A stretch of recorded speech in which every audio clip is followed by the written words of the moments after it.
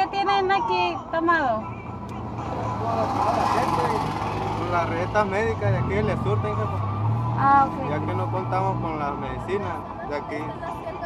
También a la gente mayor. ¿No hay Cruz Roja aquí?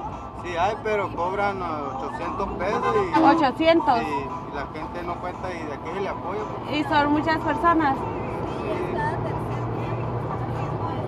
¿Cómo cuántas personas llevan hemodiálisis? 7, 8 cada 3 días, y diferentes.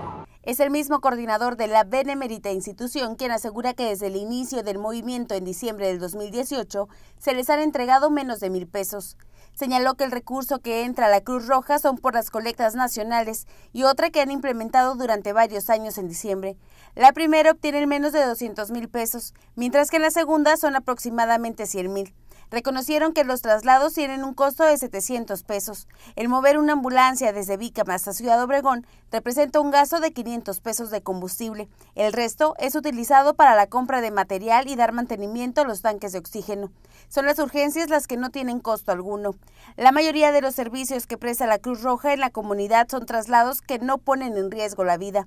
Actualmente son tres personas las que prestan servicio, dos operadores con turnos de 12 horas cada uno y un socorrista que está a disposición las 24 horas del día.